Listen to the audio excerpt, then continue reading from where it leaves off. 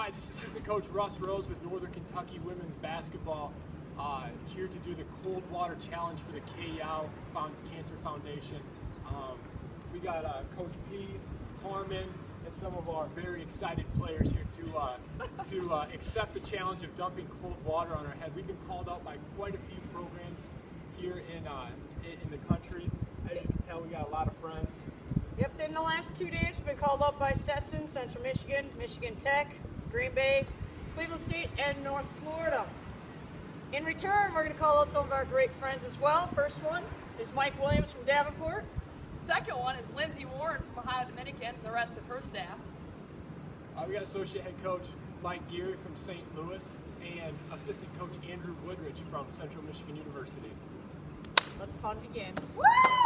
All right, okay, on three, all right? This is preparation all together.